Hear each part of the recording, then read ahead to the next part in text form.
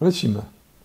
Witam Państwa serdecznie na naszym kolejnym spotkaniu i pogadance o książkach. Tym razem będziemy mówić znowu o książkach dotyczących historii Europy XIII wieku i najazdu mongolskiego, ale jesteśmy już o wiele bardziej komfortowej sytuacji, dlatego że mamy egzemplarze okazowe, proszę Państwa, naszych, naszych książek.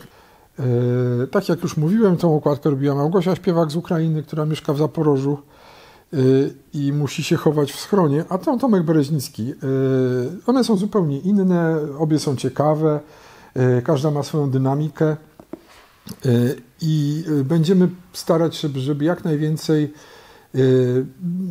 prób takich zmian dokonywało się w ramach tej naszej działalności, czyli żeby było dużo różnorodnych pomysłów graficznych. Proszę Państwa, co jeszcze mogę powiedzieć o tych książkach, o których już opowiedziałem wystarczająco dużo, a nie mogę zdradzać e, istoty e, sprawy, czyli tego, co, co znajduje się w środku, e, żeby Państwo w ogóle chcieli to przeczytać. Tutaj są ilustracje, bardzo ładnie wyszły XIX-wieczne ilustracje, które zostały dołączone do tej publikacji oryginalnej, kiedy ona tam wyszła pierwszy i drugi raz. Miała chyba ze sześć wydań we Francji, a w Turcji to już nie wiadomo ile. E, Anglik tatarskiego Hana jest pierwszym polskim wydaniem. To mnie zawsze zaskakuje, że tego rodzaju książki są pomijane, lekceważone i nikt na to nawet nie zwrócił uwagi. Znaczy, no ja przypuszczam, dlaczego tak jest, ponieważ egzotyka tego tematu i pycha e, wydawców, e, redaktorów, a też i ludzi, którzy promują książki, jakby to powiedzieć, blokuje taką chęć publikacji tej, tej pozycji. Albo to nie zrozumieją, o co chodzi, ten polski czytelnik i tak dalej. No więc ja nie mam takich lęków, proszę Państwa. Polski czytelnik wszystko doskonale zrozumie i będzie czytał wszystkie konteksty, zwłaszcza, że yy, no, obydwie te książki yy, dotyczą historii Polski. To jest oczywiście, dotyczą jej yy, raz w sposób bliższy, raz trochę bardziej oddalony, bezpośredni lub pośredni, ale one wszystkie dotyczą historii Polski, dlatego że Polska też była ofiarą najazdu mongolskiego. E, ich bezwzględną zaletą jest to, że nie są to książki sentymentalne, to znaczy, że nie, y, to są książki, które opisują działania drugiej strony. To się rzadko zdarza, żeby ktoś podejmował takie ryzyko i wydawał e, publikacje, które opowiadają o tym, jak funkcjonował, e, jak funkcjonowały schematy operacyjne wroga. E, a to jest szalenie ważna i poważna sprawa, bo napisanie duszoszczypłacielnej jakiejś historii o dzielnych rycerzach walczących ze złymi Mongołami jest w sumie proste i wiele osób próbowało to robić. E, ale to nas do niczego nie prowadzi, dlatego że e, emocje w dzisiejszym świecie, proszę Państwa, sprzedają się nader słabo. Nader słabo. Y, ponieważ został już całkowicie zdegradowany przez y, y, rozmaite poczynania promocyjne, tak, które nie chcą się same uważać za, za promocję, tylko za, za coś innego. Nie będę drążył tego tematu. Proszę Państwa, książki są poważne, jak widzimy, ładnie wydane Niestety, tak jak mówiłem już y, pół roku temu, musieliśmy na chwilę, mam nadzieję, odejść od okładek twardych, ale mamy okładki ze skrzydełkami, y, obydwie, tak? Y, jest to tekst bardzo obszerny. Do tego jeszcze będzie na Angliku tatarskiego Hana będzie puchnący lakier. Na egzemplarzu okazowym tego nie widać, ale, ale będzie. Więc jakość tego produktu, czyli to, co zawsze podkreślam, także będzie zachowana.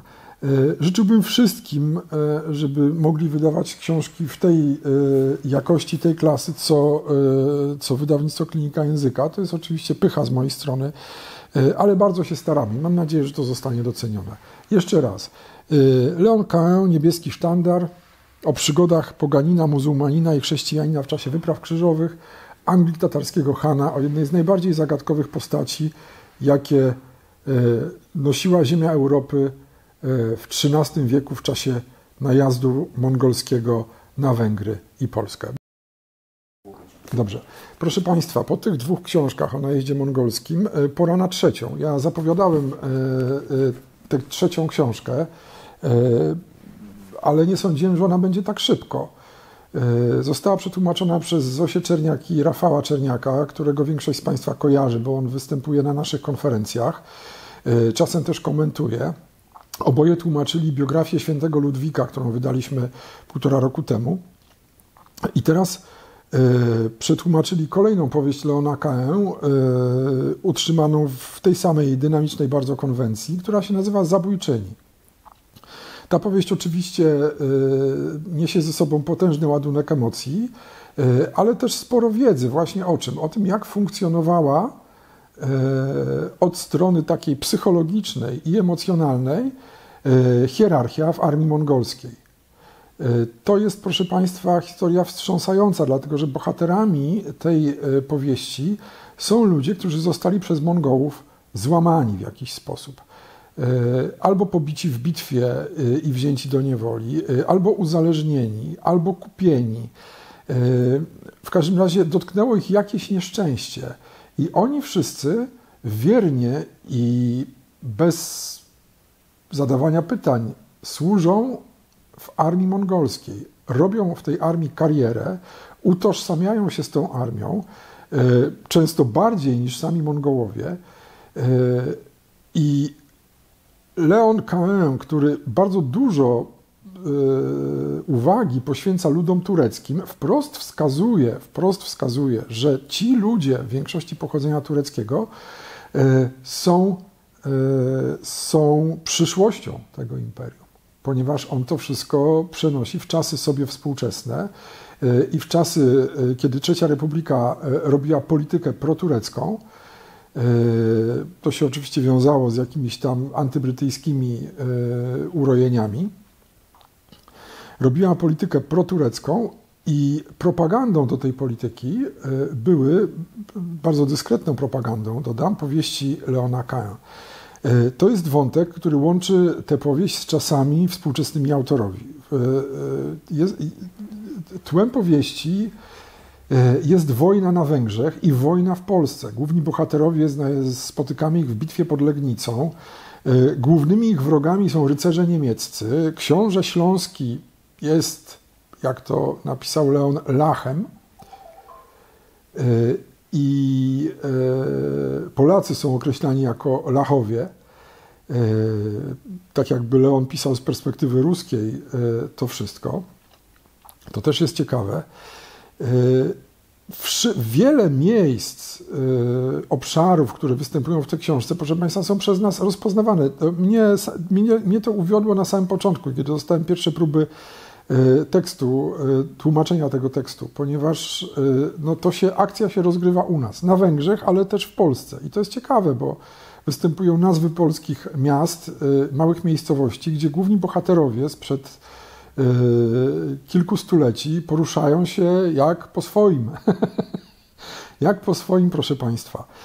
E, to jest ciekawa sprawa e, i e, pokazuje nam mm, Leon K.M. w jaki sposób to jest możliwe, czyli pokazuje nam całą mechanikę i sposób funkcjonowania tej straszliwej machiny, jaką była, jaką była armia mongolska.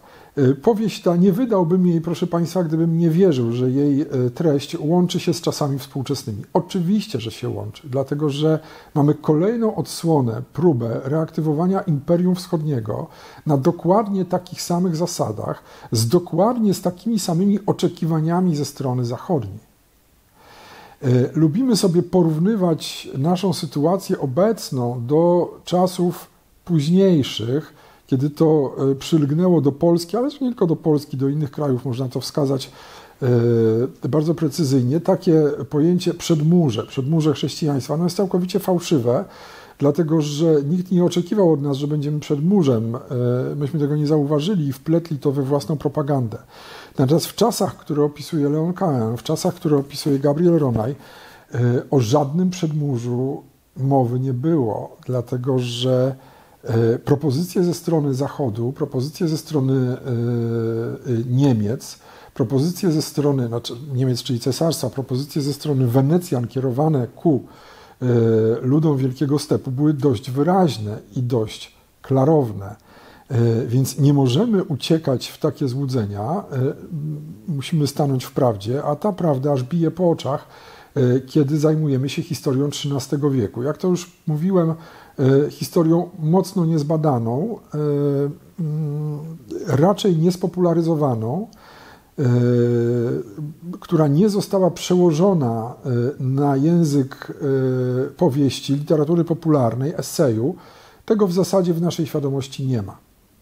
Mamy wyprawy krzyżowe, a potem już bitwę pod Grunwaldem. W środku zaś jest wielka dziura. Czasem ktoś wspomni coś o wojnach husyckich e, e, i Kazimierzu Wielkim.